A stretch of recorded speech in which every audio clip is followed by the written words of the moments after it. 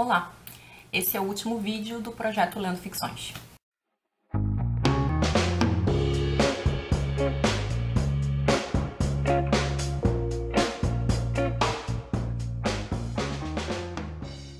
O projeto é Lendo Ficções, mas eu estou com outro livro aqui porque na minha edição de ficções não tem esse conto de que eu vou falar hoje, que é o Aproximação a Almotassin. É, mas algumas pessoas me pediram porque esse conto está na versão delas, tá? Nada de errado. Pelo que eu pesquisei, esse conto ele saiu em 1936 num livro chamado História da Eternidade, numa coletânea. Em 1942, numa outra coletânea chamada Os Jardins de Veredas que se bifurcam, e mais tarde, em 1944, no Ficções, tá? Então, por isso aí que em algumas edições tem, em outras não tem. Esse conto é, ele vai retomar alguns temas que o Borges já vinha trabalhando nos demais contos e ele vai ser uma pseudo resenha, né? Então o narrador é um leitor, né? O narrador está fazendo uma análise de um texto que é esse a, é, aproximação ao Mutassin ou The Approach to Al Mutassin. é, o autor seria né, desse romance The Approach uh, to Al-Mutassim seria um indiano, um, um advogado indiano chamado Mir Bahadur Ali. Então o Borges primeiro vai contar a história desse, desse romance. Ele vai tecer alguns comentários que outros comentadores já teriam tecido, outros resenhistas, enfim. Ele vai citar aqui Philip Guedala, enfim, algumas pessoas que existem, né? Uma coisa comum na obra do Borges, né? Um narrador ensaísta que cita outros né, escritores ou ensaístas que existem. Né? E aí, então, ele vai citar essas pessoas, alguns comentários que elas fizeram sobre a obra. Então, ele vai dizer que esse, essa a aproximação ao Mutassim é um poema, ele é uma mistura de poema alegórico, algo de uma tradição oriental, é, com história policial. É uma mistura desses dois gêneros. E aí ele vai dizer que esse, esse romance ele foi sendo reeditado de modos diferentes, algumas vezes ele saiu com ilustrações, é, o, o, autor mudou o, o final, ou mudou certas características. E aí ele diz que é, em determinado momento o livro é reeditado com um subtítulo que é A Game uh, A Game with Shifting Mirrors, então que seria um jogo com espelhos que se deslocam. E um dos temas então que o Borges retoma nesse conto é exatamente a questão do espelhamento, não de, de um espelho talvez literal, mas de um certo espelhamento. A começar pelo narrador, que é um leitor, né? É um narrador que está analisando um texto. A gente está lendo um texto de um leitor que está analisando um texto, né? Então a gente já. O primeiro espelhamento já é o nosso narrador, né? Do, do, um leitor lendo o outro leitor.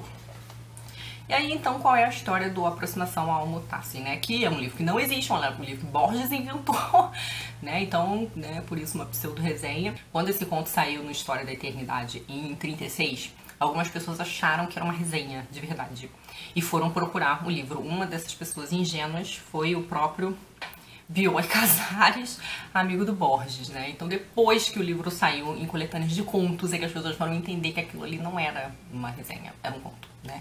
Eu acho é, é interessante a gente pensar no efeito, né? No efeito da leitura. Pensar os contos do Borges sobre a teoria do efeito estético, porque durante um tempo o conto foi considerado uma resenha, né? Depois que ele foi que as pessoas entenderam que era uma resenha ficcional, uma pseudo-resenha. Né? E aí o, Borges brincando também com o caráter ficcional inventivo do texto crítico.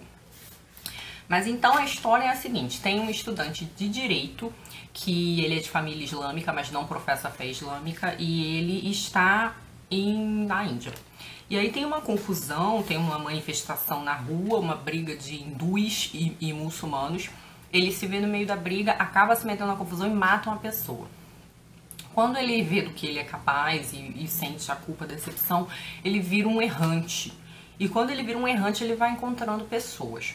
Conforme ele vai convivendo com pessoas cada vez mais brutais, degradadas, violentas, ele vai se contaminando daquilo né, da, da, dessas baixezas, vamos dizer assim.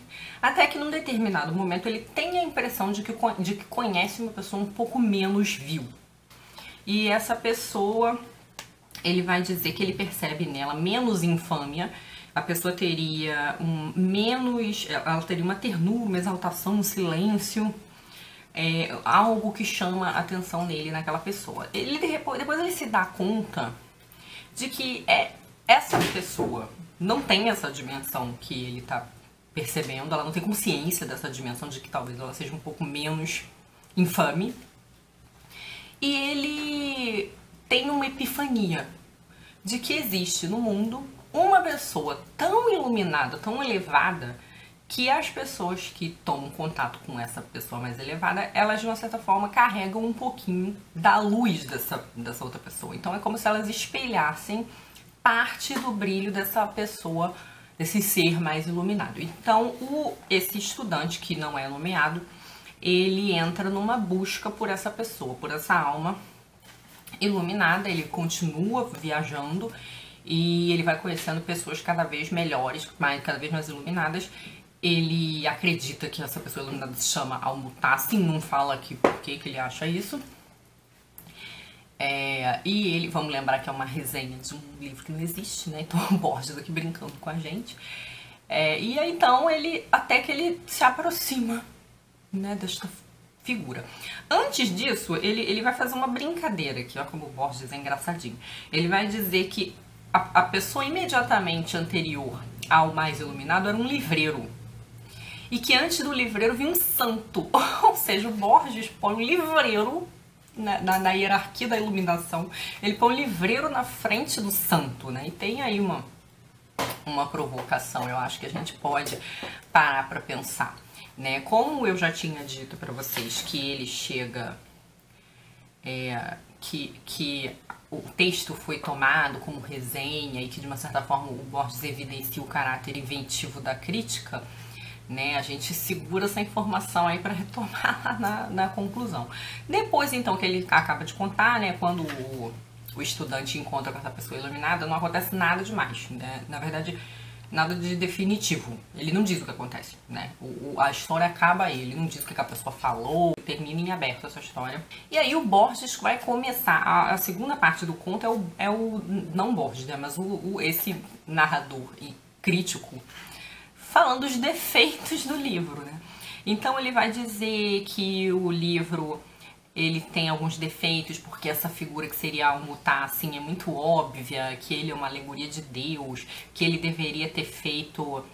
É, ele, ele fala que um Deus unitário que se acomoda às desigualdades humanas. A meu ver, a ideia é pouco estimulante. Então ele começa a fazer críticas ao modo como o escritor desenvolveu a história. Ele vai comparar duas, as duas edições e dizer que uma é pior que a outra.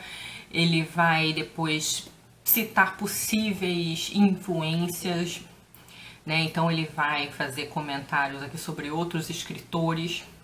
Ele na verdade vai citar tanto livros que se parecem com esse, como livros que influenciaram outros, né? Então ele vai falar do Ulisses, vai comparar o Ulisses do Joyce com a Odisseia e vai tecer algumas interpretações para o que seria essa figura então do Almutassim né? E aí ele cita aqui, por exemplo, é, umas coisas meio místicas, né? O cabalista de Jerusalém, Isaac e Lúria, que no século XVI propagou que a alma de um antepassado ou mestre pode entrar na alma de um infeliz para confortá-lo ou instruí-lo.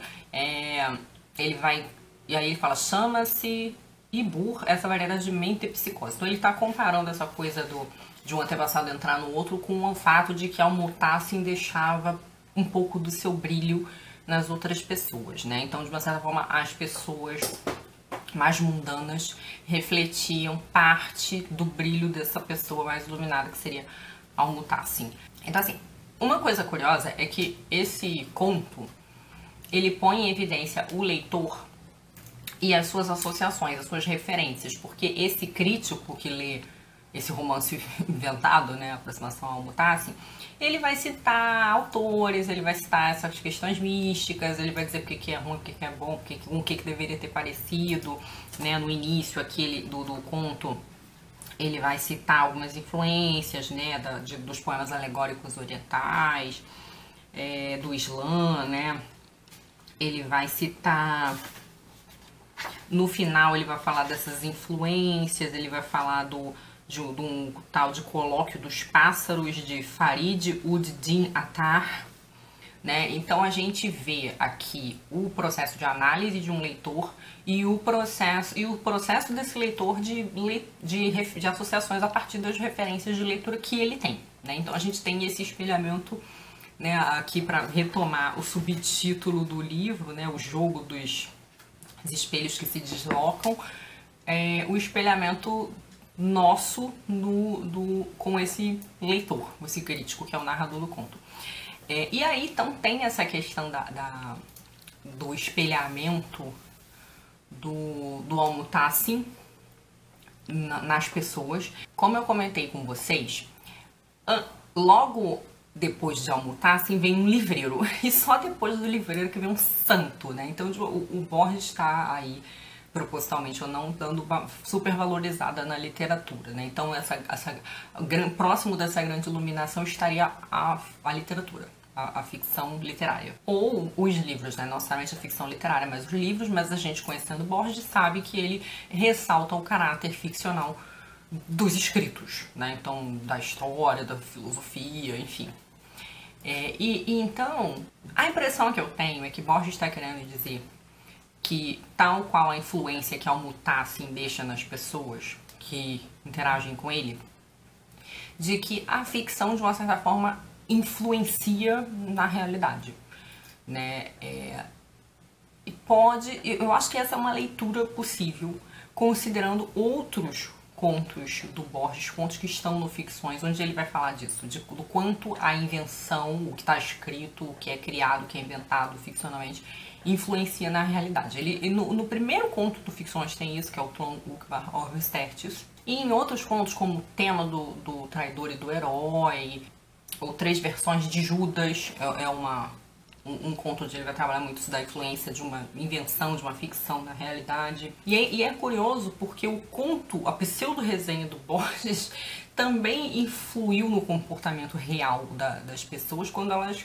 foram procurar o livro. E isso não é a primeira vez que acontece, porque se eu não estou enganada, no livro do Monegal, ele diz que o livro do Monegal chama Poética da Leitura, tá? Pra quem não sabe, é uma análise da obra do Borges. E ele vai dizer que aconteceu a mesma coisa com Pierre Menard. Né? Então teve críticos, teve pessoas na época que acharam que o livro do Pierre Menard ah, existia. Né? Ou se não foi o Pierre Menard, algum outro conto desses que o Borges inventa um, um, livro e as pessoas compraram que o livro existia, que aquilo era realmente uma resenha. Então eu, eu acho que esse conto ele tematiza as duas coisas. Ele, essa coisa, essa questão do espelhamento né, na brincadeira que ele faz com o narrador e com a gente, é, da, da, do que, daquilo que Almutar assim, espelha nas pessoas, que de uma certa forma poderia ser a própria ficção, né, enfim, é, e, e, que influencia no, na realidade. Bom, é isso então, fica com esse vídeo encerrado o projeto Lendo Ficções. Eu estou pensando com carinho nas sugestões de muitos de vocês de fazer Lendo o Aleph.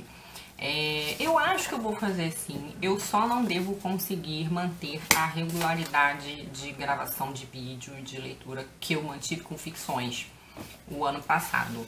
Né? A gente teve vídeo praticamente o mês inteiro, às vezes teve até mais de, de um vídeo por mês. O que acontece eu estou trabalhando muito, eu estou tendo dificuldade para ler e para gravar e para editar, então estou com menos tempo. Mas assim, de modo mais espaçado, a gente deve então aí ter uns vídeos sobre o Aleph, ok? É isso então, muito obrigada pela companhia, pela espera. Eu sei que muita gente ficou esperando esse vídeo. E me digam qual foi a leitura que vocês fizeram desse conto. Galera aí que tá acompanhando, põe aí nos comentários o que vocês acharam do conto, qual foi a interpretação que vocês fizeram. Beijos e até a próxima. Tchau.